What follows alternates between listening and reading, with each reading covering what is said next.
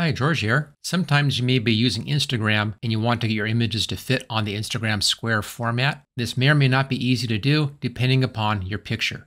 Now, I'll show you several different ways to do this, and again, depending upon your needs, you can choose one or the other. In this video, we're going to be taking three rectangular images and then converting these into three square images using different techniques because of different needs for each one of the pictures.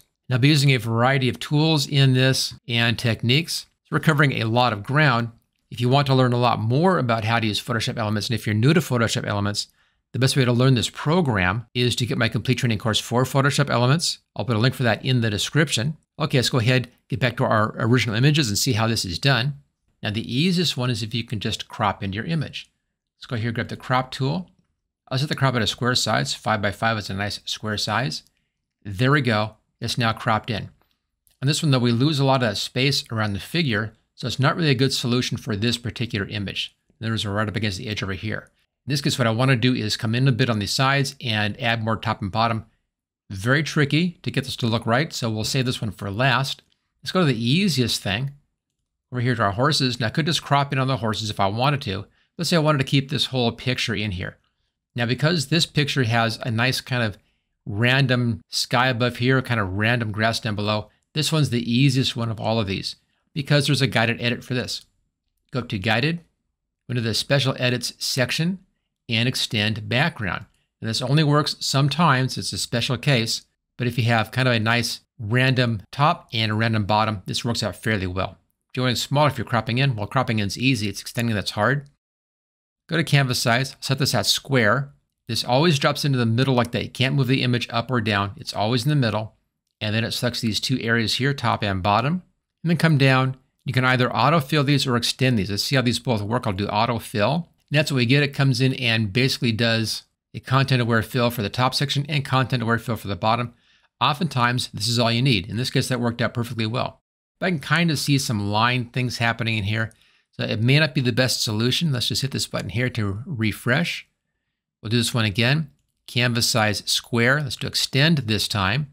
And I want to protect some stuff because it's going to be stretching our image. So I use the right bracket here, bring my brush size up. And I'm going to paint over everything I want to keep as is. And it's going to be the horses, of course. Get the whole horse in here. There we go. This whole area in here. And straight across. And this horse in here. Also, I want to keep that mountain and the horizon line right here, the water line. All of that I want to keep as is. I don't want to touch any of that stuff. And then click on Done. And it comes in and it stretches the image to fit that to give us a bit more at the bottom and a lot more at the top. It is square though, so there's another option. Obviously different looks. You can try both and see which one works out best for you, but that did a pretty good job for us. This looks realistic. And the easiest one here is just to do the square and autofill right there. Okay, so that's one. Just going to cancel out of this. Back to advanced. Our second one right here if you don't want to touch the bottom, if you want to keep the middle section the same and you only want to change the top, then this takes a special technique. For this one, I'm going to be extending our canvas size. So first I'll right click over here and duplicate layer, choose OK. Hide that background. Let's now bring in our new sky image in here. Okay, File. I'll place this one right there and place. It's a little bit small as you can see. I'm going to stretch this out to fit so it just fits the width. It's in behind as well. I'm just going by the guidelines in there. I hide that, and see here's our image. Just now add some size at the top of the image to make it a square image. Image, resize, and canvas size. Change these to pixels. Set this at the bottom. And let's make the height match the width, 1920. Here we go, choose OK. And then gives us more space at the top of the picture up here. I bring in our background sky, let's just hide this, and I'll drag it to the top. Just kind of showing up in the background there. Let's now get rid of this sky in here. I'll zoom in, and this time let's do something different. And let's make a selection, get the selection tool here. Let's come down and grab the polygonal lasso tool. Then we'll come in here and make our selection. Now be very careful with this tool. If you click too fast, the selection will collapse and you'll have to start over again, which you don't want to do. So just take your time, take a breath between each time you click on a point so that it doesn't collapse on you. Let's just work straight across here. And when you get to a round area here, just put your dots closer together. And especially when you're doing around something, this is where you have a tendency to click too fast. So just be careful, slow down, especially around curved areas so you don't close in or collapse your selection. Now you can come in and add to or subtract from your selection, but it's easier if you don't have to do that. It's better to get it all in one shot. So that's what we'll try here. Now I don't guarantee this is going to work. Doing these selections here with lots of selections, it's very easy to come in and do a double click by accident. You know, then have to come in and adjust it. If that happens, I'll go ahead and I'll show that. Hopefully we won't do that on this video. Okay, let's take it up along the edge of this roof line here. I'll push over here to the side, and that makes the image auto scroll, which makes it real easy to keep on working. And up around the top up here. Now you could use a different selection tool if you wanted to. You could try using the background eraser tool, which frequently does not work. Or you could try the magnetic lasso. Sometimes that's great, sometimes it's not. It really depends. Okay, need to take care of that. That's going to be a bit trickier. And just come around to this bit in here and up and around. I'll go clear on this bit here. And then once I get this done, I'll pause the video and then finish doing the roof line. And as soon as I'm done, I'll bring the video back up again and we'll bring in that background. You see these little detail areas like this? Just take your time, make sure you wait a beat between each click and you should be okay. It's this kind of detail that will mess this job up using this particular tool. So again, it all is about getting into kind of a Zen mode when you're doing this. Okay, I'm going to pause the video at this point, and then I'll bring it right back up as soon as I finish making the selection on the rest of these roofs, and I'll then take care of bringing in our new sky in the background. Okay, there we go. I went clear around the tops of the buildings, and then out and around across the top, and then down to this side. Opens that area up. Let's make a layer mask out of this. I'm going to invert this, select inverse. So now just the bottom area is selected, and this top area here. Click on layer mask and that then hides that sky section and shows the new sky in behind. So we made this into a square format by adding in some more space and then putting in a new sky for it. So pretty straightforward on making this fix. It's just a little tricky making that selection around all that stuff in here on the top of these roofs. Okay, let's go over here to the most difficult one. Let's say I wanted to give myself more space on the top and the bottom, and I wanted it square. So for this, it's a couple of steps. Again, I'll make a duplicate layer, choose OK hide the background. And we'll start off by doing a crop in here. I don't want to crop to square. So I'll set no restriction.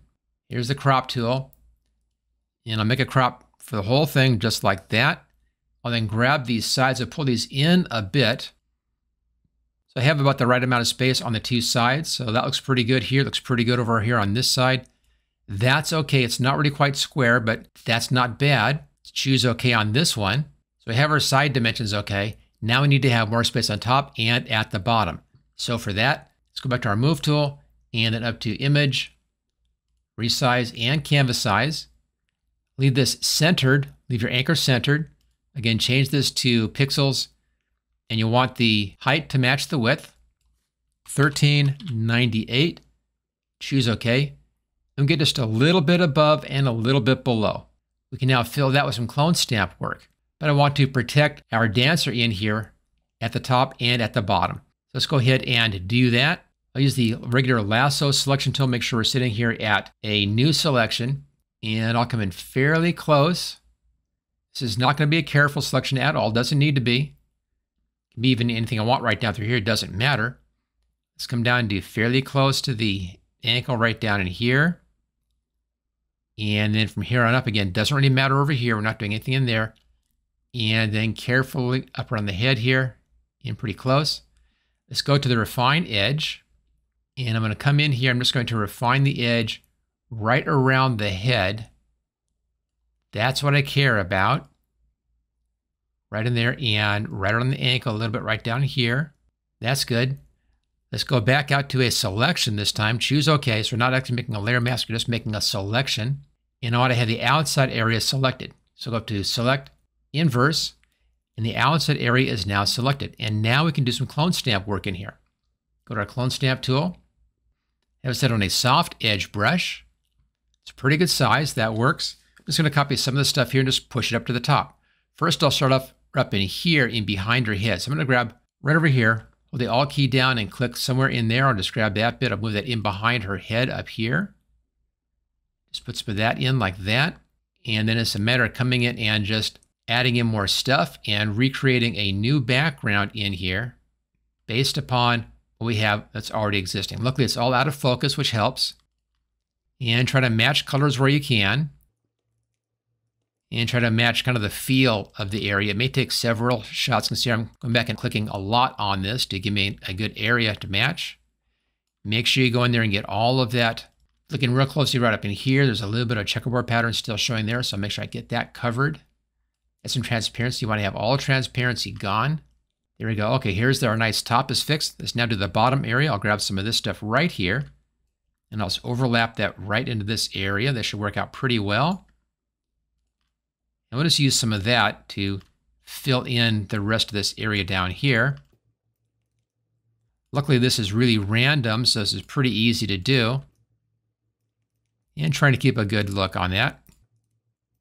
And I think that works. Just a little bit right there just to hide any duplication. There we go, Control D to deselect. And we've now extended that background out, but it took cropping in a little bit to make this thing work.